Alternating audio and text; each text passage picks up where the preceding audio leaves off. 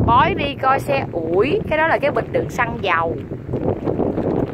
Rồi khí và bói thấy nó có bánh xích to không? Cứng không khía cứng.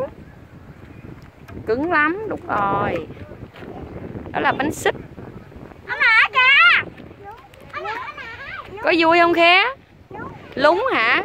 Nó dính cái gì vậy khé dính sình đúng rồi. Xe này là xe gì ủi đúng luôn.